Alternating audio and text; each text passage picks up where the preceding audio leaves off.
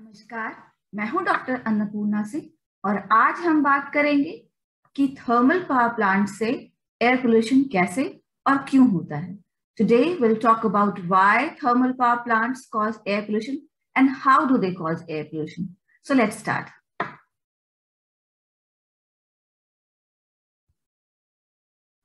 air pollution from thermal power plants.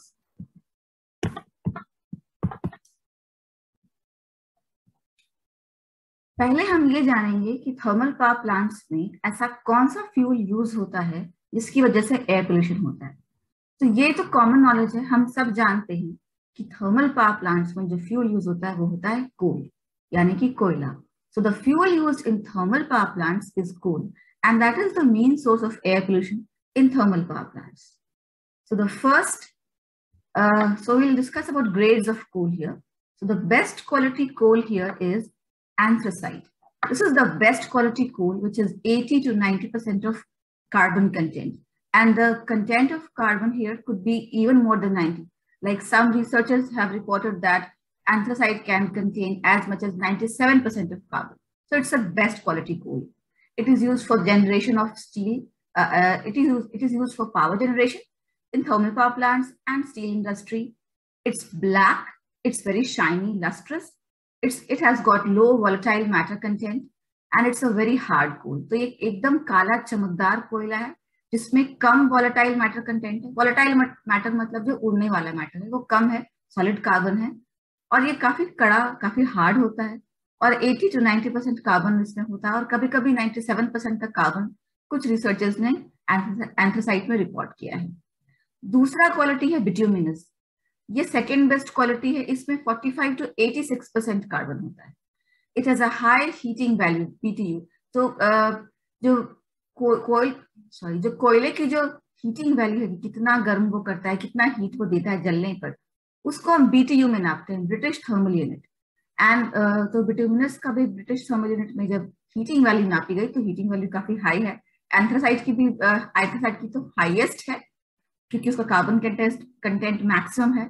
और उसके बाद ब्रिटिश थर्मल में बिटूमिनस का भी हीटिंग वैल्यू हाई है। और इसको थर्मल पावर प्लांट्स में और स्टील इंडस्ट्री में यूज़ किया जाता है। और इसमें कम चमक होती है एंथ्रासाइट के मुकाबले। तीसरी क्वालिटी है सब बिट्यूमिनस तो ये कोई खास अच्छी क्वालिटी नहीं है कोल की। और इसका कार्बन कंटेंट सिर्फ़ 35 टू 45 परसेंट है। Low to moderate heating value इसकी हीटिंग वैल्यू भी लो टू मॉडरेट है। इसको भी थर्मल पावर प्लांट्स में यूज़ किया जाता है पावर जनरेशन में।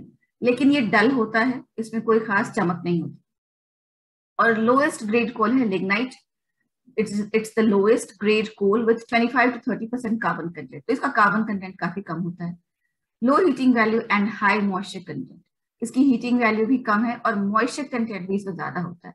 तो ये भी जान लें आगे के साइड्स में बताऊँगी कि कोल की जो क्वालिटी है वो किन किन बातों पर डिपेंड करती है। पर इस स्लाइड तक आप ये जानिए कि एंथ्रासाइड बेस्ट क्वालिटी कोल है, जिसमें हाईएस्ट कार्बन कंटेंट है। उसके बाद बिट्यूमिनस फिर सब बिट्यूमिनस और फिर लिग्नाइट जो लोएस्ट क्वालिटी कोल है और उसका कार्बन कंटेंट मिनिमम है। तो कोल की फॉर्मेशन कैसे होती है? जब process of formation of coal is called coalification so what are the stages in coalification coalification जो होता है, वो कोल के फॉर्मेशन के प्रोसेस को कहते हैं। उसके कौन कौन से स्टेजेस हैं? पहला प्लांट मटेरियल तो जो भी प्लांट मटेरियल होता है हार्ड प्लांट मटेरियल वो आ, कभी इस धरती पे मिलियंस ऑफ़ इयर्स अगो इस धरती पे था और वो पौधे पेड़ मरे और वो ज़मीन में गिर गए और वो ज़मीन के बहुत अंदर चले गए और ऑक्सीजन का सप्लाई कट हो गया और फिर वो बना पीट तो पीट जो होता है वो एक सॉफ्ट और हाई मॉइस्चर कंटेंट उसमें होता है. Peat is really soft and it has got a very very high moisture content. Then comes lignite. So lignite is the lowest quality uh, lowest quality coal we just knew. So after peat is formed lignite. So this lignite also is not very hard uh, compared to the better qualities of coal, and it has got a really high moisture content. Then forms subbituminous. So after lignite, the coal becomes even harder. It loses some of its moisture and becomes better quality, which is subbituminous. Then comes then comes bituminous. So at this stage, the coal becomes even harder. It increases its carbon content. The moisture content lowers further. And finally is the anthracite. At this stage, the coal is its on in its best form, its hardest, its shiniest, it has the highest carbon content, and it has the lowest moisture content and the lowest volatile matter content. तो plant material से पीट बना जो कि soft है बहुत high moisture content है फिर लिग्नाइट है, थोड़ा हार्ड हुआ, उसका मॉइस्चर कंटेंट और कम हुआ। फिर सब बिटेनस है, ये और हार्ड हुआ मॉइस्चर कंटेंट और कम हुआ, और कार्बन कंटेंट बढ़ा, फिर बिट्यूमिनस और फिर एंथ्रासाइड जो कि बेस्ट क्वालिटी कोल है। तो जो कोल जितना पुराना है, वो उतनी ही अच्छी क्वालिटी का है। ये तो इस डायग्राम से हमें समझ में आता है। The coal which is the best quality is also the oldest coal एक दूसरा प्रोसेस है ह्यूमिफिकेशन तो ह्यूमिफिकेशन तो हमेशा होता रहता है। कोई प्लांट मरता है, ज़मीन पे गिरता है और ह्यूमिफिकेशन होता है। क्या फ़र्क है कोलिफिकेशन में और ह्यूमिफिकेशन में? कोलिफिकेशन में क्या होता है? वो ज़मीन के बहुत नीचे होता है। जहाँ एयर की सप्लाई बिल्कुल कट होती है, वहाँ किसी प्रकार का कोई हवा नहीं होती है। और वो एक नेचुरल प्रोसेस है जो मिलियंस ऑफ़ ईयर्स में होता है। बेसिकली वो प्लांट मटेरियल का क्रिस्टलाइजेशन है जो कि होता है और फिर वो कोयला का फॉर्म लेता है। पर humification is a process that happens above the ground in the presence of air where or where uh, microorganisms degrade plant material to form humus. Whereas in coalification, there are no microorganisms involved. It happens below the ground with no oxygen, no air supply whatsoever. And this is basically the process of crystallization of organic matter to form.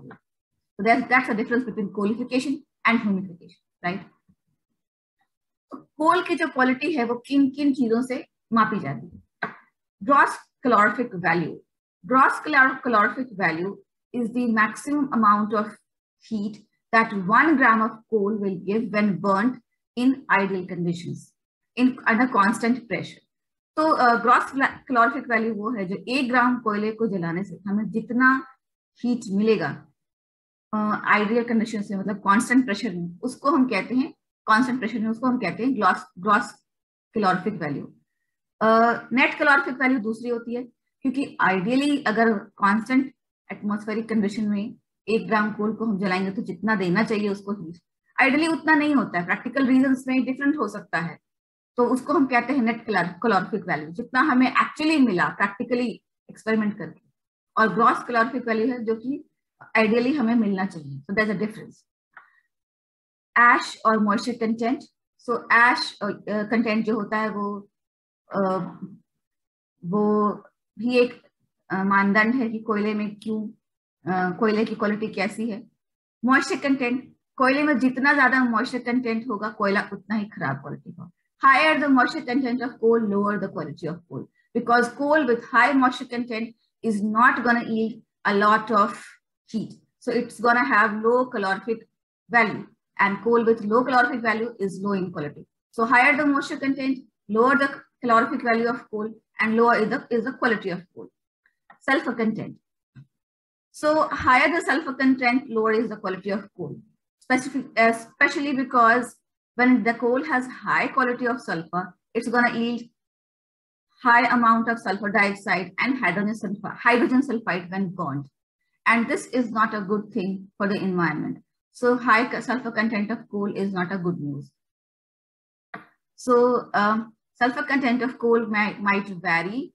And when it comes to high organic sulfur coals, coals which have high amount of organic sulfur in them can have sulfur content as much as 3.7 to 4.1% by weight.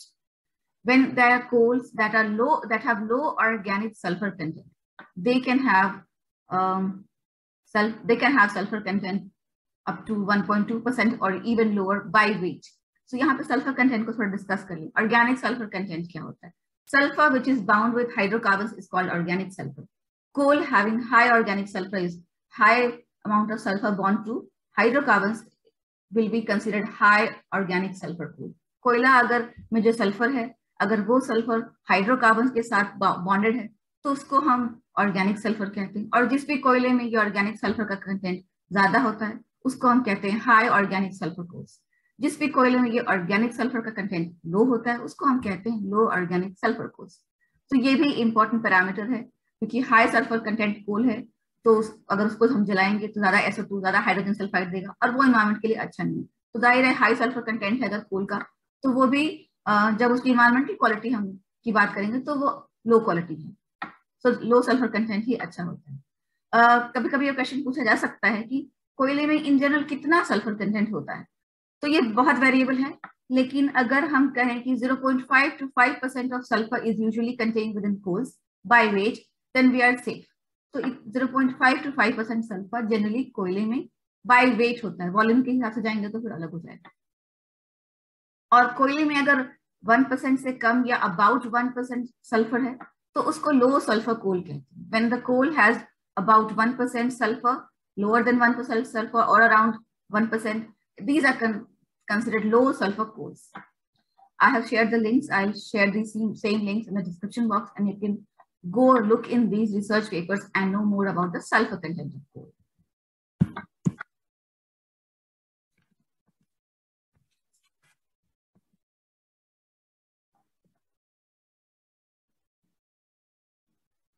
Now we come to pollution from thermal power plants. By this time, we know all about coals and the coals, the fuel of the thermal power plant and why they might cause pollution. Now we want to know what are the types of pollution caused from thermal power plants. So uh, we all know that thermal power plants cause air pollution. But air pollution is not the only form of pollution that is caused by thermal power plants. Thermal power plants cause air pollution, they cause solid waste pollution, they cause water pollution, and they also cause tremendous noise pollution. तो thermal power plants में सभी होता है. Air pollution भी होता है solid waste pollution भी होता है वाटर पोल्यूशन भी होता है और नॉइज़ पोल्यूशन भी होता है. तो एयर पोल्यूशन को तो मैं डिटेल में डिस्कस करूँगी आगे की स्लाइड्स में. पहले हम जान लें कि सॉलिड वेस्ट पोल्यूशन कैसे होता है. तो fly ash and bottom ash fly ash वो एश है जो थर्मल पावर प्लांट से उड़ती है चिमनी से निकलती है या एयर में सस्पेंडेड रहती है. That's fly ash bottom ash वो एश है जो उड़ती नहीं है, वो सीधे गिर जाती है, भारी होने के कारण because of high particle size and uh, greater weight, bottom ash just falls down at the bottom and it doesn't fly. So that's called bottom ash. Then the fly ash are smaller particles which remain suspended in the air and fall down at a later stage. So that's called fly ash. Water pollution. Uh, water pollution is caused from uh, thermal power plants because of heavy metals and metalloids such as boron, arsenic, and mercury they also are there are also radionuclides and hot water. Besides there is fly ash dissolved in water. So when the fly ash it emit it is emitted from the chimney it it is suspended in the air and this suspended fly ash falls down on the water surfaces and it mixes with the water. So that's also uh, causes water pollution.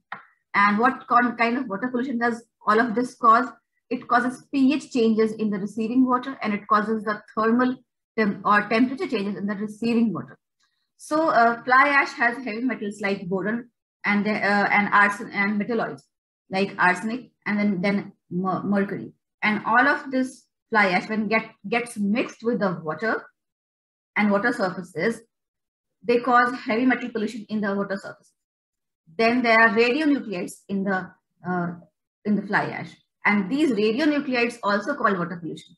And then the water coming out from boilers is always hot. And when this hot water from thermal power plants reaches a water body, then this causes temperature differences in the water body and it comes as a thermal shock for the organisms living in the water body. And that causes thermal pollution. So we'll discuss it in detail in a later video. Then there is noise pollution.